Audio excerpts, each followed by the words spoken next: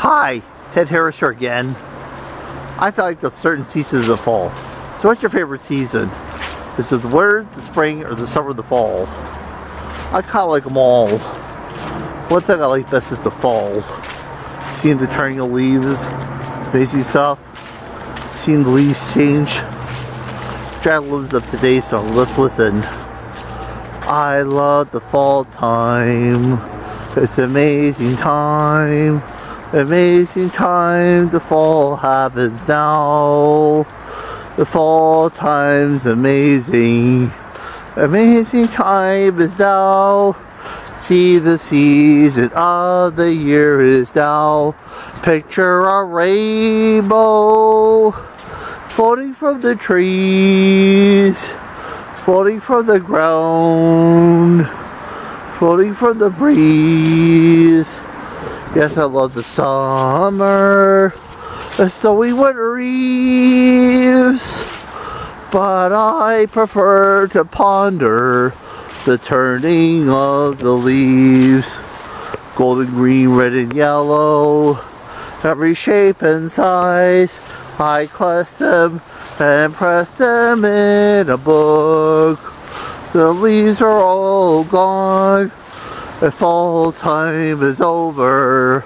I turn the page and take a second look. Picture a rainbow floating from the trees, floating from the ground, floating from the breeze. Yes, I love the summer, the snowy winter eves, but I prefer to ponder the turning of the leaves. Yes, I prefer to ponder the turning of the leaves. It's amazing how fall gets. Amazing. Seeing all the leaves change and all that. Seeing all the leaves change. Seeing how the world is now. Seeing nature at its splendor. Or also Halloween's in the fall. My favorite time of the year. Halloween's in the fall. It's a great time.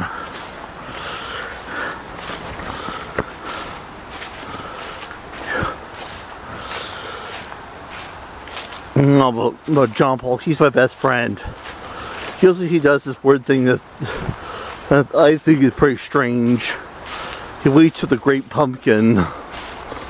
And Charles Schulz, for some unknown reason, lied to his wife for very innocent.